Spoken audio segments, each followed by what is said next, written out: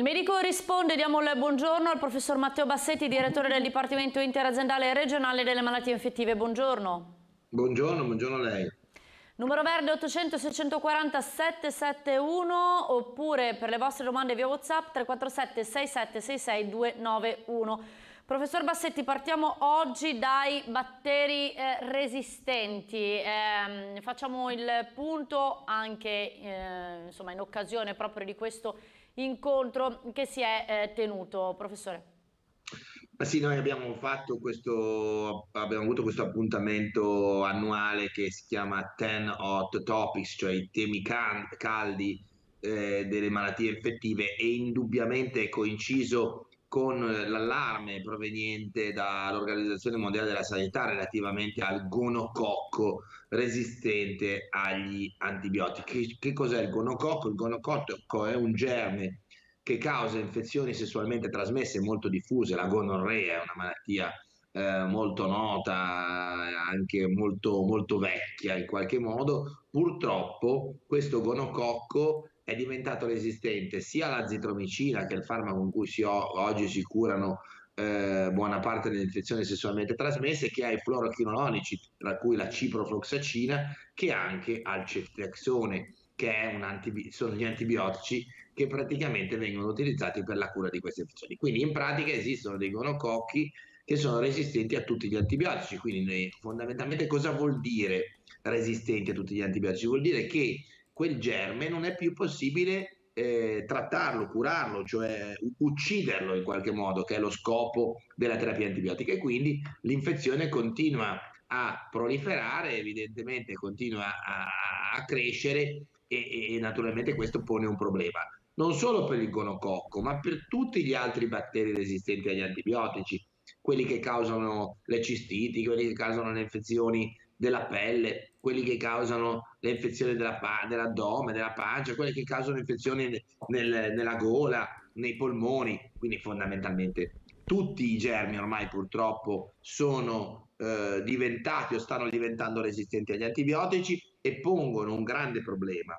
Qual è il grande problema? Primo, che la gente non può continuare a girarsi dall'altra parte. Quindi una tirata di orecchie pesante ai miei colleghi che continuano a utilizzare gli antibiotici con troppa leggerezza. Primo, una tirata d'orecchie pesante a tutte quelle persone che usano gli antibiotici senza seguire le indicazioni dei medici e quindi gli è avanzata una scatoletta d'antibiotico in casa e lo prendono senza sentire il medico, vanno in farmacia e mettono in qualche modo, pregano il farmacista di dargli l'antibiotico dicendo me l'avevi già dato una tirata d'orecchie a eh, dove si utilizzano ancora gli antibiotici in veterinaria, una tirata d'orecchie dove si utilizzano ancora in agricoltura, cioè fondamentalmente ci vuole una chiamata forte a tutti perché eh, si ritorni o si inizi a utilizzare meglio questi farmaci, perché se no finiremo in epoca pre-antibiotica. Cosa vuol dire? Che si tornerà a morire di infezioni che, eh, che, che oggi che, eh, sono trattabili con delle terapie antibiotiche. Le do solo un numero, Tiziana, così i cittadini capiscono di cosa stiamo parlando. Eh, la resistenza agli antibiotici causa in Italia ogni anno tra 40 e 50 mila morti tra chi muore in ospedale e chi muore fuori dall'ospedale. In pratica è come se ogni anno noi avessimo un Covid del 2020 che ci arrivasse, che, che è lì, silenzioso e letale. Però lei, voi, molti infettivologi, sono anni che ne parlate. Come mai sembra che questo appello, che questo vostro allarme, eh, diciamo così, non sia ascoltato, professor Bassetti? Insomma, 40-50 mila morti in Italia all'anno non sono mica pochi, sono un'enormità perché su questo tema non si è fatto abbastanza, non ha fatto abbastanza il governo centrale, non hanno probabilmente fatto abbastanza le regioni, eh, non hanno fatto abbastanza i cittadini e quindi oggi siamo arrivati evidentemente in un imbuto, perché nel passato cosa succedeva? C'era una resistenza e c'era un nuovo antibiotico, perché c'era un grande entusiasmo da parte dell'industria farmaceutica a produrre nuovi antibiotici. Quindi uno diceva, vabbè, c'è una resistenza, eh, non funziona più un vecchio antibiotico ne usano un nuovo. Ecco, oggi nuovi antibiotici non ce ne sono più. Eh, c'è un grande problema nella ricerca di nuovi antibiotici, le aziende, le grandi aziende farmaceutiche non investono più negli antibiotici e quindi è evidente che oggi più di ieri bisogna prendere, come si suol dire, il toro per le corna. Non si può più continuare a, come diceva mio nonno, a ciurla nel manico. Tutti... Senta, professor Bassetti, perché non si investe più? Perché non ci sono più antibiotici? Perché questa è una cosa difficile, credo, da, da comprendere eh, per la maggior parte delle persone, no? E beh, ci sono le industrie farmaceutiche, se non funziona questo ne fanno un altro, si dice. Perché le industrie farmaceutiche non sono opere pie, e le industrie farmaceutiche sono società per azioni, e quindi oggi investire negli antibiotici non rende. Cioè, tu investi un, un dollaro in un nuovo antibiotico e indietro te ne torna meno di uno. Cioè, quindi in pratica eh, non ci sono investimenti in questo settore. Oggi le industrie farmaceutiche preferiscono investire eh, nell'oncologia, preferiscono investire nelle malattie croniche, nelle malattie autoimmuni, nelle malattie reumatologiche, nelle malattie ematologiche. Non si investe più in questo settore. Purtroppo bisognerebbe che gli stati facessero di più per incentivare nuovi investimenti. Oggi la situazione è questa, di qui ai prossimi dieci anni ci saranno infezioni purtroppo intrattabili, incurabili, ingestibili e potenzialmente mortali, perché non ci sono armi per curarle. Quindi è un problema che riguarda tutti evidentemente, perché un'infezione da batteri resistenti si può prendere in ospedale, ma si può prendere anche a casa propria, senza andare in ospedale, perché c'hai un'infezione urinaria, una cistite, un'infezione della pelle. Questi batteri sono ovunque ormai, non sono più soltanto relegati nell'ambito ospedaliero. Senta professor Bassetti, le faccio quest'ultima domanda, ne abbiamo parlato già diverse volte, però proprio per chiudere questo argomento, ci può rispiegare perché a un certo punto l'utilizzo di tanti antibiotici ha fatto sì che quindi crescesse questa resistenza agli antibiotici? Allora, funziona così. Un antibiotico che viene utilizzato, nel momento in cui noi lo prendiamo, eh, automaticamente il batterio inizia a conoscerlo. Cosa vuol dire inizia a conoscerlo? È un po' come il veleno del serpente, no? Fondamentalmente te ne do poco, poco, poco, poi sempre di più, sempre di più, finché quando il serpente ti morde non muori più di quel veleno. E così succede con gli, con gli antibiotici. I batteri imparano a conoscerli, diventano maggiormente tolleranti e quindi progressivamente più si utilizzano e più quell'antibiotico smette di funzionare. Allora, qual è il problema? Uno dice, ma io non ho mai preso un antibiotico, perché dovrei avere una resistenza agli antibiotici? Perché gli anti- i batteri resistenti circolano nell'ambiente, sono nelle acque reflue, sono nella carne, sono nella, nella, verdura, sono sulle mani della gente che noi salutiamo, sono nella gola, eh, nel retto, nell'intestino di tante persone. Quindi è un problema globale, è un problema della comunità. Quando qualcuno prende male gli antibiotici non fa soltanto del male a se stesso, o magari a se stesso non lo fa, ma la fa alla comunità in cui vive. Quindi è un egoismo eh, bruttissimo quello di riempirsi di antibiotici ed è un egoismo bruttissimo quello dei medici che li prescrivono quando non servono, perché è un modo di fare male al, non solo a quel paziente a cui lo dai, ma fai male alla comunità in cui quel paziente vive. Quindi bisogna cam- cercare di cambiare la testa anche dei medici, che purtroppo sono tra i primi responsabili della co- incorretta prescrizione di antibiotici. In conclusione, quando serve prendere l'antibiotico? L'antibiotico serve quando c'è un'infezione batterica, quindi basterebbe saper dire di no in cinque situazioni. Proviamo a dirle? Sì. Il raffreddore comune, mai antibiotici per un'infezione eh, virale. Nelle bronchiti acute, quando anche dice ma c'ho la bronchite più l'antibiotico, no, per la stragrande maggioranza sono virali, salvo in qualche situazione in cui il paziente può avere, il soggetto può avere qualche altra problematica. Nell'influenza, mai antibiotici nell'influenza, nel Covid, mai antibiotici nel Covid. Quindi pensate quante sono le situazioni in cui l'antibiotico non andrebbe utilizzato e nella mononucleosi, per esempio, che è un'altra infezione virale dove si usano purtroppo antibiotici sbagliando. Quindi diciamo che se sapessimo già dire di no in queste situazioni, faremo una, una cosa importante. L'altra cosa è che se li devo prendere per un'infezione batterica documentata e certa, li devo prendere bene, al dosaggio che mi hanno dato, per la durata che mi è stata eh, prescritta, col ritmo di somministrazione mi è stato prescritto. Se devo prendere un antibiotico ogni 8 ore, cioè alle 8, alle 4 e a mezzanotte, non è che posso dire, vabbè, guarda, siccome vado a lavorare alle 8 e torno eh, a casa alle 5 del pomeriggio, li piglio la mattina prima di uscire poi li prendo quando torno la sera. No, non si fa così, così si fanno diventare resistenti eh, evidentemente i batteri. Quindi c'è bisogno di tanta cultura, bisogna insegnare queste cose nelle scuole,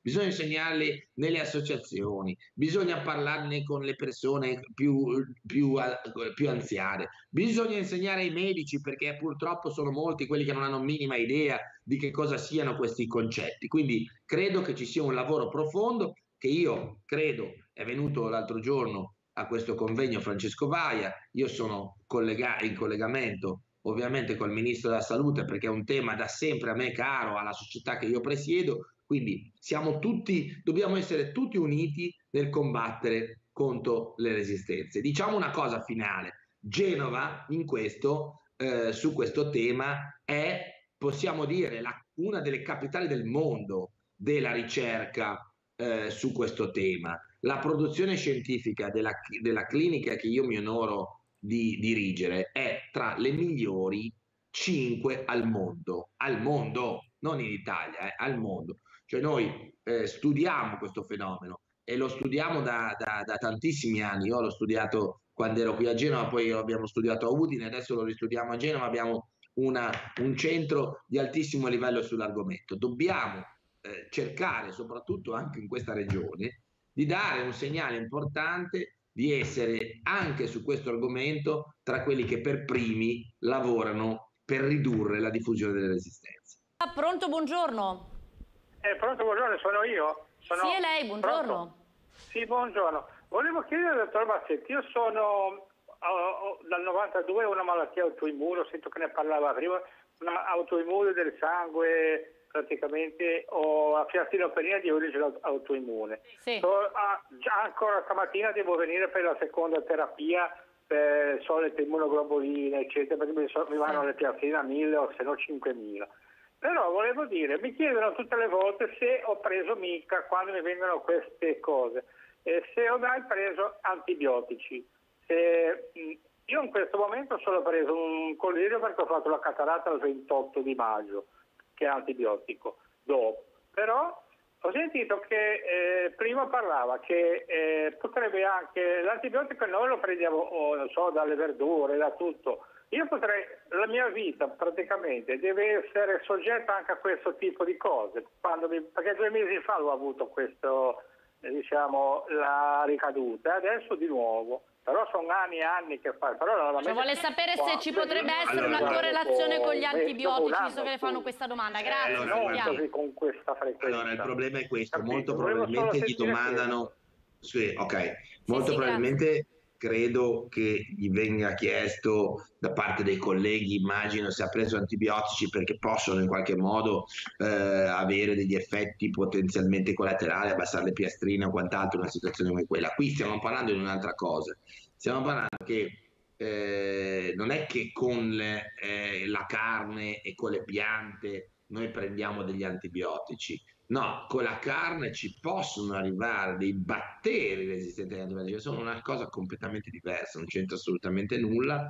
Eh, per dire che questo è l'ecosistema dell'antibiotico che riguarda non solo gli esseri umani, ma riguarda anche gli animali, riguarda il mondo vegetale. Quindi il, il signor Mario può ricevere eh, in qualche modo un batterio resistente da tante parti, no? quindi non solo da quello che può avere dentro di sé perché ha preso un antibiotico, ma lo può ricevere, come abbiamo detto prima, dal fatto di mangiare una bistecca o manipolare eh, in qualche modo un pollo eh, da mangiare delle verdure magari non lavate adeguatamente oppure toccando delle superfici oppure dando la mano a qualcuno o addirittura dal, dal naso dalla bocca di qualcun altro. Quindi questa è eh, la modalità attraverso la quale noi possiamo acquisire dei batteri eh, resistenti agli antibiotici Eh, ora sottolineo una cosa, ma la sottolinea anche lei. Tutto questo discorso che lei sta facendo e che sta facendo il professor Bassetti, telespettatori, non significa che stiamo stigmatizzando gli antibiotici, ma solo dicendo che vanno usati solo quando serve, solo quando ce lo dice il medico, solo in casi particolari e vanno presi bene seguendo le indicazioni. Giusto, professore? Ma certo, ma si figuri lei se io stigmatizzo gli antibiotici. Da no, sempre, no, ma sai, meglio ripeterlo. Eh, il problema è che dobbiamo stigmatizzare l'uso improprio di antibiotici, che certo. purtroppo è molto frequente. Gli antibiotici sono scambiati spesso per farmaci diversi, antipiretici, lo prendi perché hai la febbre. Ma perché la febbre? Ma per, spiegatemi la ragione per cui dopo due giorni di febbre io devo prendere l'antibiotico. L'antibiotico funziona sui batteri, quindi la febbre può essere legata a un virus, può essere legata a un problema diverso, può essere legata a un tumore, può essere legata a un altro... Allora, spiegatemi la ragione per la quale dopo due giorni uno deve prendere l'antibiotico. C'è scritto da qualche parte, cioè lo raccomanda qualcuno? No, è solo un problema fondamentalmente di usare la pancia e non usare la testa. Noi dobbiamo dire, soprattutto ai medici, ma anche ai pazienti, che bisogna con gli antibiotici usare testa e non pancia.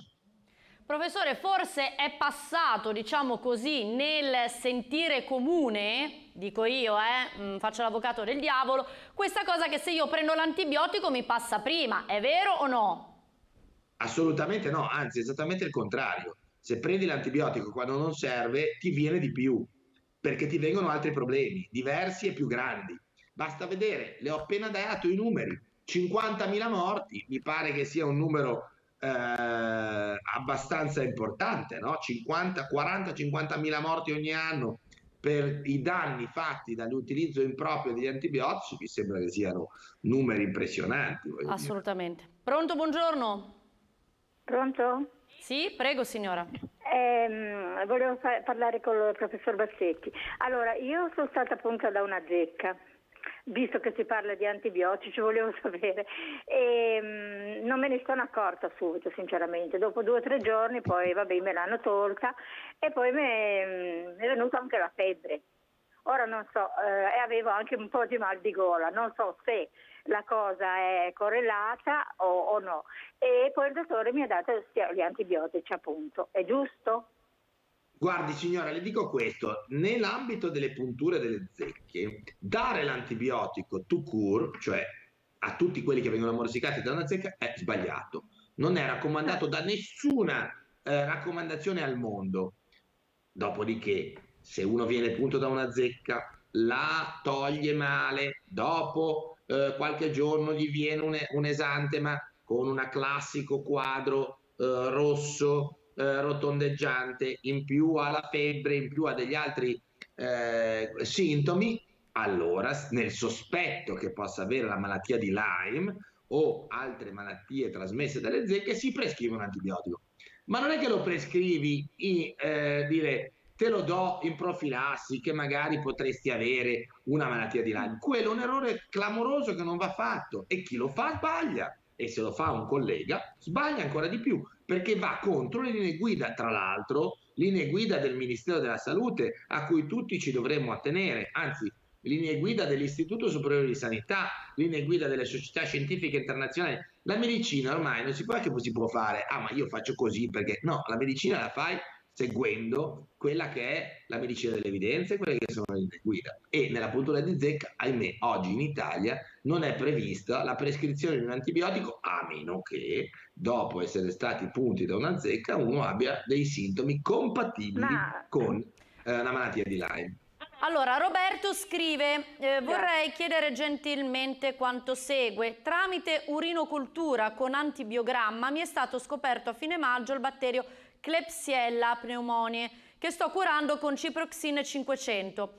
Vorrei sapere, eh, per sapere di essere guarito, esiste solo urinocultura o anche un esame specifico? Grazie. Allora, guardi, questa è una bellissima domanda. Quando uno ha un'infezione urinare, una cistite, un altro quadro, eh, e la Klebsiella pneumonia è uno dei germi insieme alle Escherichia coli più frequenti eh, in causa di queste infezioni, in genere si dovrebbe guardare a se uno ha avuto un miglioramento clinico, cioè se lui aveva bruciore a fare la pipì, eh, la febbre, eh, magari andava frequentemente in bagno e non ha più bruciore, non ha più la febbre, eh, si può considerare clinicamente guarito. Dopodiché eh, si può anche in alcune situazioni particolari, non tutte, ripetere un'urinocultura per vedere che sia negativizzata. Noi normalmente devo dire che nella maggioranza delle infezioni urinarie semplici non lo facciamo, cioè ci basiamo sulla guarigione clinica, cioè il paziente non ha più sintomi, eh, l'esame delle urine è migliorato e quindi inutile neanche andare poi a ripetere l'urinocultura. L'ultima telefonata, pronto, buongiorno. Eh, parla con me? Sì, parlo con lei. Ricordatevi ah, sempre di togliere l'audio della televisione, se no ci sentiamo sì, fuori ah, tardi. Scusi, prego. scusi, ha ragione, ha ragione. Tranquilla. Ah, buongiorno, allora mi chiamo Adele da Marassi. Allora, intanto vengo nel carruggio del dottor Bassetti. Eh, buongiorno dottore. Buongiorno. Allora, sì. Allora, il discorso è questo. Io ho una cistite praticamente cronica da, mm, da dopo che sono andata in menopausa. Eh, niente, eh, succede questo. Eh, da principio mi avevano giusto consigliato gli antibiotici. Ero andata avanti per un anno con questi cavolo di antibiotici e non mi avevano fatto assolutamente niente. Cioè lì per lì sembrava che andasse tutto bene. Dopo 15 giorni avevo di nuovo eh, la, la, la, la cistite. Eh, l'urologo è stato il primo che mi ha detto no, antibiotici, assolutamente no eh, piuttosto al limite se proprio non riesce l'unico è il furadantin perché eh, non crea resistenze. E in effetti eh, così ho cominciato a fare. E mi sono eh, praticamente mh, diciamo un po' coperta con la fitoterapia. Lo so che si metterà a ridere però con l'uvorsina eh, io sono, sono riuscita per, almeno a periodi lunghi più lunghi a, a a non avere la, la, la, malattia in fase acuta, per intenderci. Sì. E, e, niente, eh, volevo chiederle se secondo lei faccio bene a fare così, perché poi ogni tanto mi torna, per fortuna non in maniera grave come su- mi succedeva prima, perché poi tra l'altro prima mi veniva sempre con, uh, in, um, ema- ema- con il sangue. Con Col sangue, ok signora. Esatto. Vediamo cosa esatto. dice il professor allora, Bassetti. Grazie. mille. Guardi, purtroppo le infezioni delle vie urinarie, come quelle che ci ha descritto la signora, sono una delle cause di utilizzo più improprio degli antibiotici. Spesso i medici consigliano addirittura di fare profilassi continuative, fate 5-7 giorni al mese, tutti i mesi, così evitate. Ecco, questo è il modo migliore per far venire i batteri resistenti e, eh, ed è un errore che non va fatto quello di dare continuativamente antibiotici in profilassi. Quindi la signora ha fatto benissimo, è bravo, è stato il suo urologo a dire che gli antibiotici non servono a prevenire, ci sono strumenti diversi, ora la signora fa la fitoterapia, ma voglio dire, ci sono altre, eh, altre possibilità, integratori alimentari, il succo di mirtillo, il succo di ribes, tante situazioni che, che servono ad acidificare le urine e quindi a far sì che in qualche modo eh, ci sia eh, meno eh, possibilità di avere eh, infezioni delle, delle, vie urinarie. Quindi eh, attenzione nelle infezioni delle vie urinarie perché è una delle situazioni in cui oggi noi vediamo più facilmente i batteri resistenti e guardate che quando poi avete una cistite per colpa di aver utilizzato male gli antibiotici e vi viene un batterio resistente, non ci sono più possibilità terapeutiche per in pastiglie e si deve essere ricoverati in ospedale e magari poi viene fuori un batterio resistente anche agli antibiotici che abbiamo in ospedale. E poi cosa si fa? Quando poi ti viene una sepsi o una setticemia con un batterio resistente a tutti gli antibiotici, lo sapete cosa succede, no? Si arriva ad avere delle situazioni molto complicate e c'è qualcuno che purtroppo muore pure. Quindi se si parte bene, magari si arriva anche meglio. E quindi questo è un certo. messaggio da dare alle persone, ma anche da dare a molti miei colleghi. Grazie, grazie mm, al professor Matteo Bassetti, buona giornata e buon lavoro. Grazie a lei. Arrivederci. Arrivederci.